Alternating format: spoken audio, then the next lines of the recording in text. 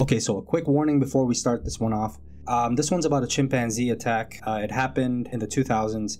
I'm gonna warn you, it's super graphic uh, when it comes to the details of the attack itself. So I just want to give you a fair warning. There are some very disturbing details in this story. So just please keep that in mind. Like and subscribe if you're new. This is Animal Al. Welcome to When Animals Attack. This is about Moe, the chimpanzee.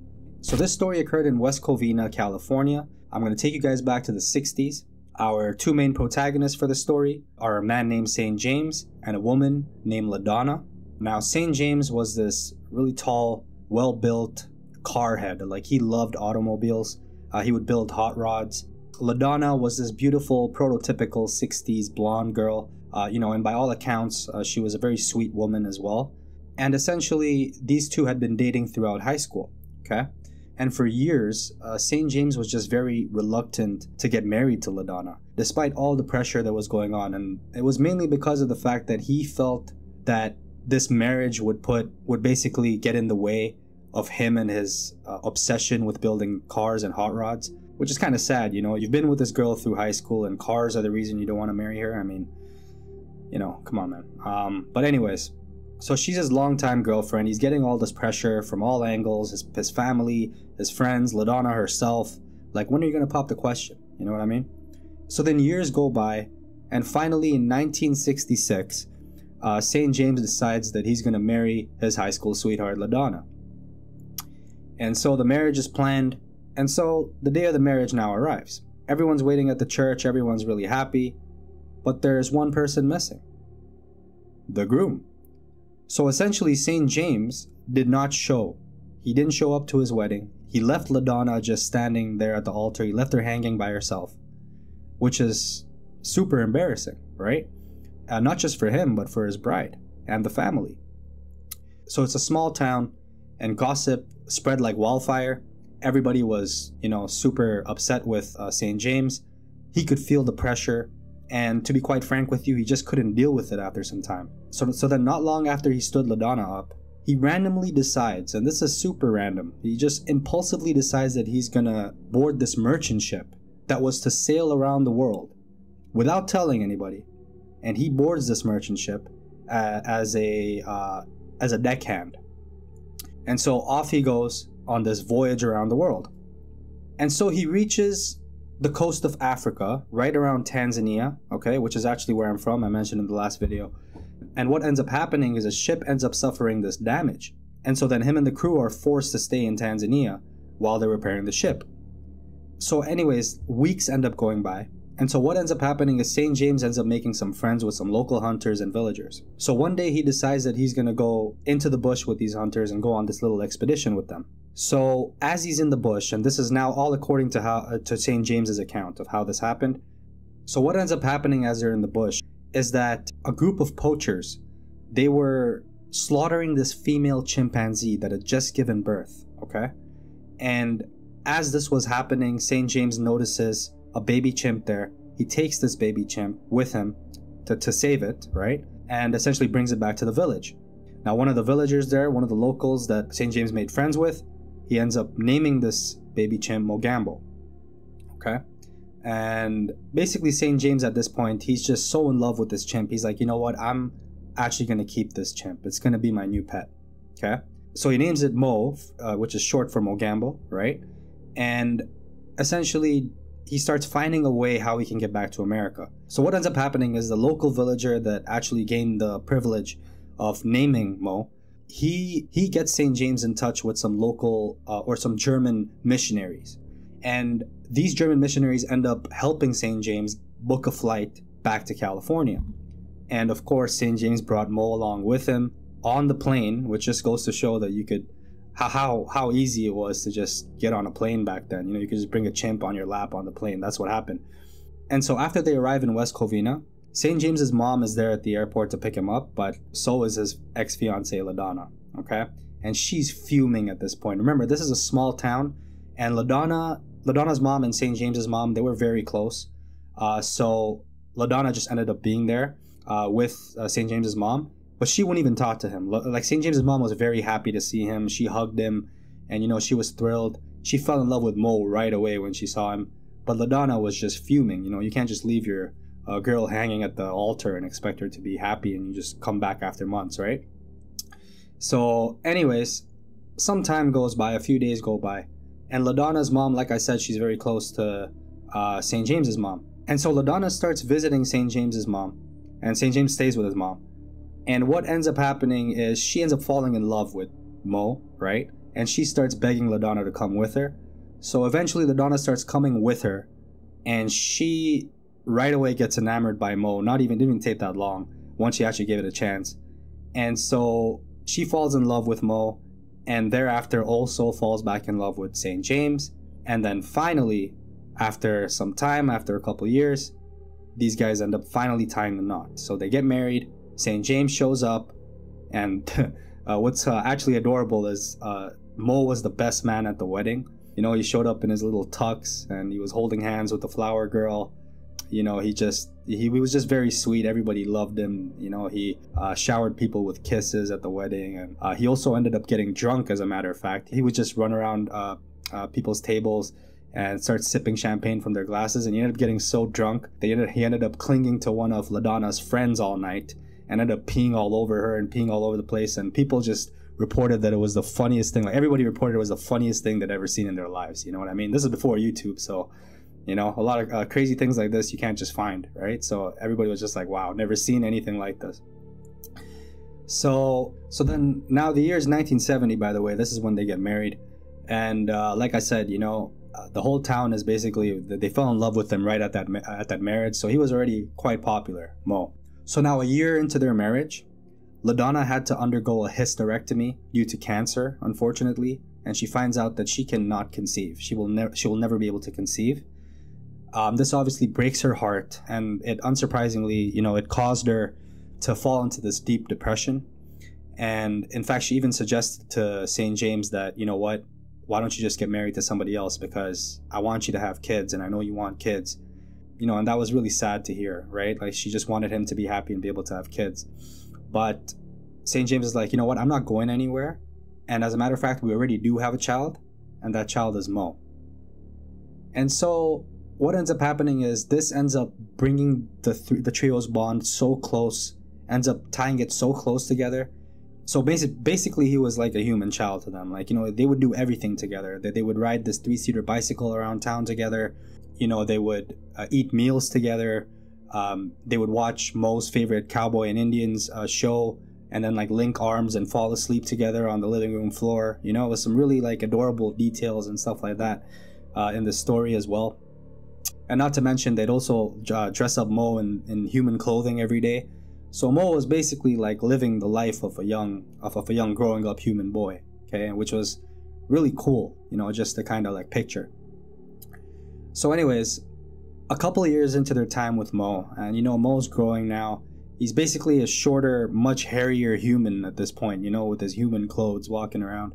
And you know, like since it's uh, the the rumors of uh, these kinds of things, they spread like wildfire the city of West Covina ended up filing charges against the Davises in order to take Moe away from them, okay, for harboring a wild animal. Like you just can't do that, right? So so what ends up happening is a couple years into their marriage, the city of West Covina ends up filing charges against the Davises for harboring a wild animal. And so a court case ensues and the crazy thing is that right the, the day of the court case, like right when Moe arrived at the courthouse, he arrived at the courthouse in this checkered shirt uh, and white pants. All right, and he actually uh, and he actually kissed the court reporter right when he came in, and he was playing with the bailiff's keys, and he was just really sweet to everybody.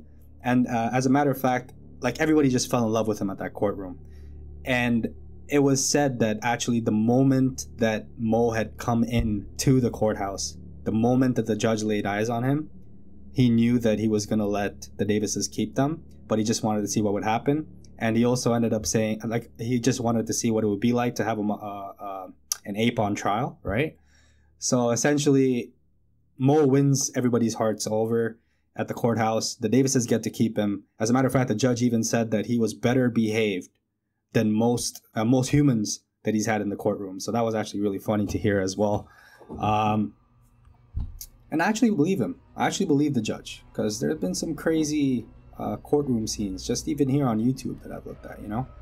But, anyways, the Davises get to keep him after all this, and so so now years go by. Okay, Moe at this point he's becoming more and more humanized, but at the same time, you know he's growing, right? So what happened was he would be sleeping on the same bed as the Davises while he was growing up for those first few years, but then as he kept on growing, he actually shot up to about 50 pounds. Okay, and at this point, the Davises were like, you know what, we're gonna have to get him his own room. Okay, but despite doing this, uh, another like cute side detail was that Moe would just still keep coming into the, uh, their room in the middle of the night, almost every night, and just sleep with them. You know I mean? Kind of like uh, a child would when they're scared or they have nightmares or whatever, or they think the boogeyman's in there or whatever. So that was uh, really adorable as well. And so these guys are really, really close. Okay, clearly Moe loves the, loves his owners. His owners love Moe. Basically, they're like his parents. So we want to say owners, but the Davises also mentioned that they saw like this deep understanding and innocence in his eyes as well, which kind of like played more to their love for him. It kind of like added more to their love for him because they thought that they they saw him as a human, as a human child, not as an animal, right? So I'm just clarifying that. They really really loved this chimp like it was their own child, okay? Um, and another side detail was, you know, not only was he wearing human clothes and, you know, like, uh, not only would he be doing all these human activities, but he loved coloring. Uh, he would play with, uh, you know, human uh, human child toys. Um, he uh, he actually also ended up being featured in some TV shows and movies as well. So he was sort of like a mini celebrity, Moe was, right? And at this time, St. James, uh, he was a NASCAR driver and he still was into his cars and he was also a mechanic. And because of that whole NASCAR thing, he was also sort of like a mini celebrity. So these guys were like the peak, were at like the peak of their, um, of their lives as a family together. Okay, Moe, LaDonna, and St. James. So now, as time kept on progressing, what ended up happening was that Moe, as he grew older, just like a lot of other chimps, his temperament began changing. He ended up becoming more aggressive. He ended up uh, you know, wanting his way more. He would throw tantrums. Uh, for example, he would cross his arms uh, when he would want a hug, and he would just demand that hug. You know what I mean? He would do the steering wheel action that he wants to go uh, when he wants to go for a drive, right? So essentially, he was really starting to act like a spoiled child at this point. Like he just wanted his way, and his aggression also kept on increasing. But anyways, the the St. James's they still ended up keeping this chimp, you know, regardless of all this. They knew that hey, this is he's getting aggressive, but they still tolerated it, okay? Because they loved him. So through his teens and his twenties, okay, uh, and this is in human years, you know, chimps can live up to uh, thirty or forty, right? Uh, Moe continued to be his playful self, right, at, at, during this time, and at at this point he ended up he was like around four feet uh, and it was about 130 pounds. And remember, they're really strong, and we'll get into that. But essentially, this is like a an adult, okay, just a shorter adult in their home. And so what happens at this point is Saint James he ends up becoming his concerns end up growing more and more. Okay, um, he starts doing all this research on chimps, and he begins realizing that no matter what you do, no matter how early in a chimp's life you take them and you expose them to or try to humanize them, okay, and keep them with humans, they're still almost always going to become much more aggressive as they grow older. And he's going to and they're going to become hazards around humans not something you can keep as a pet. And so at this point this whole fun life and peaceful like fantasy life that these three have been living together it ends up starting to take a downfall. It ends up starting to take a turn. It starts crumbling essentially. And what happens is one day there was this uh, welder uh, that was uh, working on uh, Moe's cage. He ends up dropping this piece of equipment really loudly, and this ends up spooking Moe so much so that Moe ends up running out of the house. And he ends up running out on the street. And right when this happens, you know, the cops are alerted, authorities are alerted, animal control. And so they're all trying to contain Moe. The street gets closed down. Um, by the end of this night, Moe ends up injuring uh, one of the police officers' hands. Uh, he ends up scratching an animal control worker, um, and he also dented a police officer's car. So it was a wild night, but surprisingly, the Davises and the city didn't get involved, and the Davises still were allowed to keep Moe. And so that whole incident, somehow they got away with it, and Moe was still able to stay with them. Now, a year goes by from this incident, and a woman that had come to visit Moe, like you remember, Moe was kind of like a celebrity, so people would actually come visit Moe uh, at St. James's house, at the Davis's house. And so, after being told not to stick her fingers into the cage, which is, you know, something you don't do with any wild animal, right? She ends up doing so anyways. And she has these red, uh, she has this red nail polish on her fingertips, right, on her fingernails. And what ends up happening is Moe bites one of her fingertips off, right? The St. James's right away are just like, it probably thought it was licorice. He probably thought it was licorice. That's one of the treats we give him. But at this point, you know, uh, the city got alerted. And at this point, they basically had enough. And they basically ordered that Mole gets taken away from the Davises. So the day arrives. A couple days later, uh, police officers, animal control, everyone's at this uh, at uh, the Davises' house. St. James uh, sees them. He's yelling. He knows what's about to happen. He's screaming. He's asking for a warrant. He's asking for court orders. Uh, but they already had all that. Despite that, he kept screaming, so they had to restrain him. Uh, LaDonna's just there, like sobbing on the side, and uh, Moles, uh, Moe's basically startled at all these people coming at him. He ends up getting tranquilized with two darts. Um, takes uh, a little bit for them to take effect, so at, they start dragging Moe out because he's gotten weaker from the darts. He's getting weaker and weaker by the second goes, and he's screaming while they're pulling him, uh, dragging him out and the Davises are just there, kind of like heartbroken, crying off to the side, helpless, not able to do anything. It's a really sad situation to think about, but you know, he became a hazard at this point, and you're holding a wild animal, so you know you have to take into account that a possibility like this can happen, right? That this is possible. Anyways, so Moe ends up being taken away, and he ends up being put in this uh, reservoir, this animal reservoir uh, in California, and about nine days into this uh, whole ordeal, like nine days into him staying at this reservoir, the Davises get a call from the reservoir saying that Moe just is refusing to eat and this chimp is about to die. It's literally dying at this point. So the Davises are fuming, they're scared, they're worried, they're they're anxious. They, they literally just get in the car, rush over to the uh, reservoir, and they see that Moe, um, you know, he's malnourished, he's literally weak. But when he sees them, he finally shows a reaction. Now, Chimp doesn't know about court and you know all these things, so obviously the Chimp is really um, like wanting to go home. He's he's saying like you know take me home, whatnot. So that was also sad. But uh, you know when he sees them, I believe he did start eating um, again, and uh, like they ate, he ate in in their presence. But obviously the Davises at this point they were super concerned for Moe, so they went and they started this huge legal battle in order to try to gain custody of Moe. So, anyways, after this whole ordeal, Moe's still staying at this reservoir. There's still this huge court case going on. And now years go by. So then, finally, in 2004, Moe ends up getting transferred. Uh, this whole court case ends up granting Moe this transfer to this animal sanctuary, where it was like a haven ranch, a safe haven ranch, or an animal haven ranch, rather, uh, which was specifically designed for primates. Okay. So they knew, the Davises knew that Moe would be much more better off in this uh, facility uh, because of the structure of it and because of the kind of animals that would accommodate. So the Davises at this point, you know, they they would bring treats to Moe, uh, you know, and it was the closest thing that they kind of had to the kind of life that they were living before, right? Uh, you know, they, they were allowed to visit him. There was no touching though, um, you know, and so Moe, whenever he'd want a hug, he'd be super disappointed, wondering why you know, he'd gesture for a hug, you know, and he'd cross his arms and he wouldn't get one and he'd wonder what's going on. So he'd, he'd be sad from that. So unfortunately, you know, uh, that's the, that, those were the rules at the sanctuary. So anyways, now some quick details before we get into the main attack here. And this is, this is where I'm going to warn you guys once again. It's not for the faint of heart.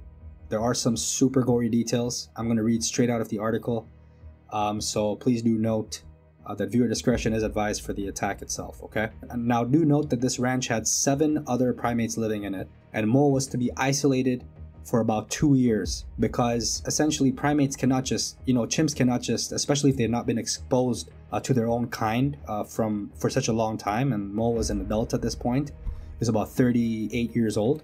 You got to ease chimps into a new social environment, okay? Uh, because uh, there were seven other primates, like I said, at this uh, sanctuary so he had to be isolated for a couple years. Regardless, anyways, so here comes the day itself, okay? So it's March 3rd, 2005. So it's Moe's 39th birthday.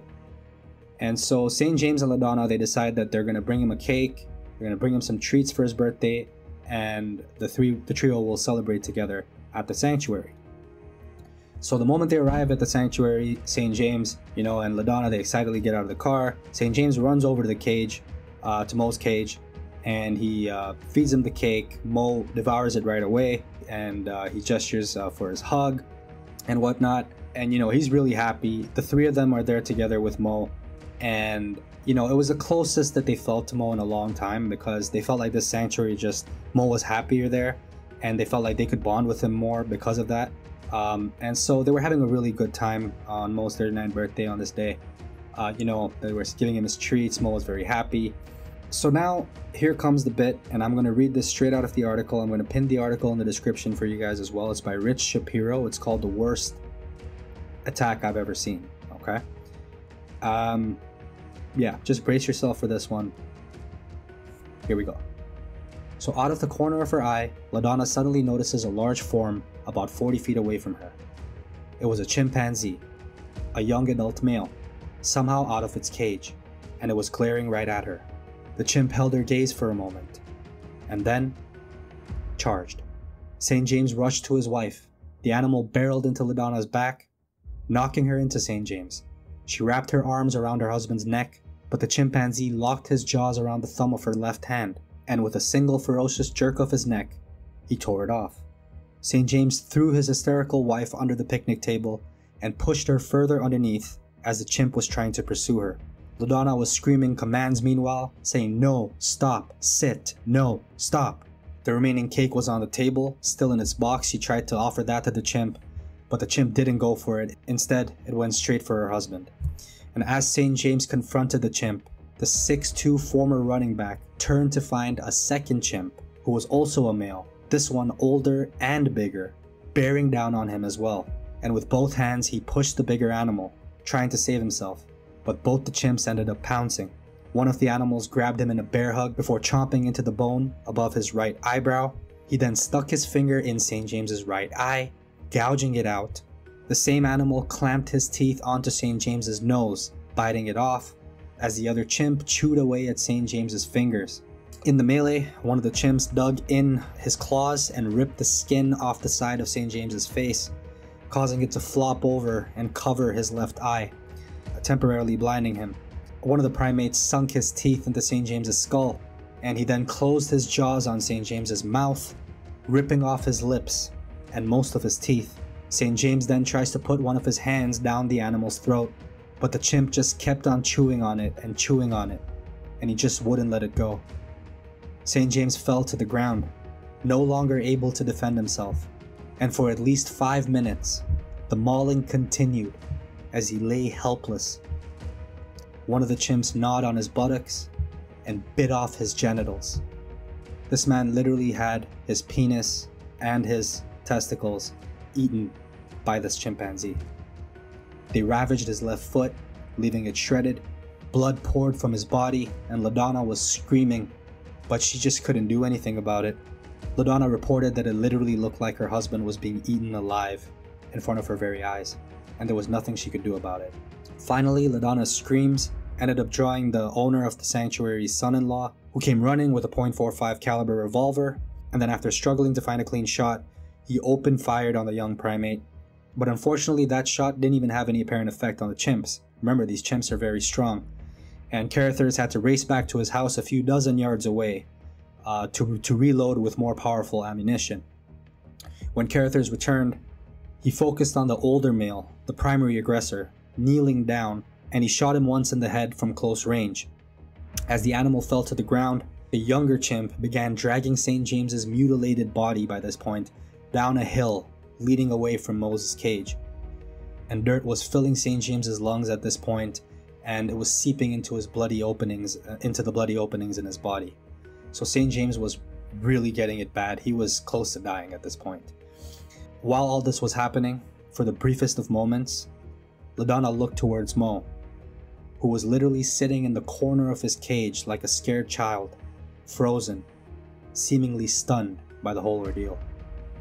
That one young lone chimp at this point continued tearing at St. James's limp body with his teeth until finally Carruthers caught up to him and shot him once in the chest with that powerful ammunition, which ultimately put an end to the horrifying attack. St. James, who was lying face down at this point and who was totally limp, felt the lifeless animal fall off his back and could finally breathe a small sigh of relief as the mauling finally came to an end. And there you have it, guys. That was the attack, and like I said, not easy to hear. Uh, chimpanzees, they are anywhere between one to four times stronger than a person, than a human, an, an adult average male. And like I said, they have, you know, they have fingers like us, okay? And straight up, they're very powerful animals. You know what I mean? That's significantly stronger than a human being. And to have that kind of power and to have grip, you know, have uh, have fingers where you can grab things, you know, they they literally are known to go for your most vulnerable parts. You know, if they're going to attack somebody, they're known to go for your genitals because they know that you need that. You know, they, they, they go for your eyes because you know you need that. They go for your fingers because you know you need that.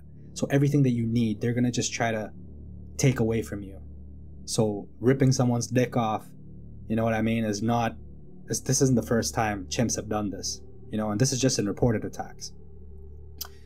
So anyways, there you have it, guys one of the worst chimpanzee attacks of all time, if not the worst. And basically, when it came to the Davises, uh, their lives till this very day, uh, you know, they basically revolve around taking care of St. James and his ailments that he suffered from this attack. You know, getting him to doctor's appointments, uh, looking into new procedures, um, you know, just all his physical difficulties that he had to, uh, you know, that he has to face now because of this uh, ordeal, this horrific incident you know, he has to, till this day, his family, that's their focus now, just taking care of him. Um, the good news is that the progress is slow, but it continues, and that St. James hopes to have a new mouth and a fully formed uh, left hand. Uh, that's what it said in this article. So hopefully by now he already does have that. Uh, he'll need he needed to have his upper lip uh, surgically reconstructed, and and prosthodontists will outfit him with a special set of dentures as well, so he can finally eat more easily um, and also speak more clearly. And doctors have already designed prosthetic fingertips for the three uh, for the three stumps that he has for fingers on his left hand. So at least that's uh, prog- uh, that's progressed over there.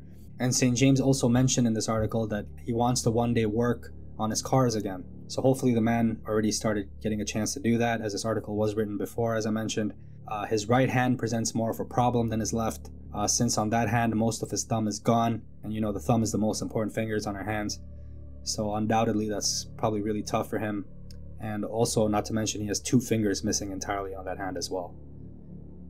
So that was the aftermath, guys. That's uh, what St. James and LaDonna had to deal with.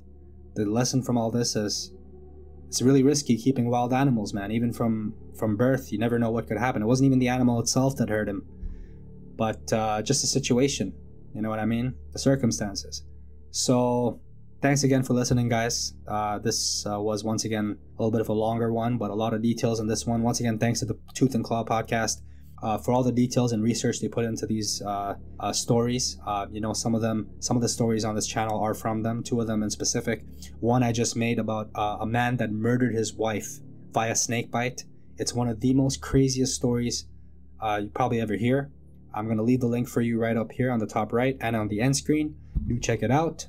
Other than that, I know a lot of y'all haven't been getting notifications, um, so please do check the channel page, um, uh, you know, often. And I will be posting as much as possible, hopefully every few days. And other than that, y'all stay safe and have yourself a good one. Peace.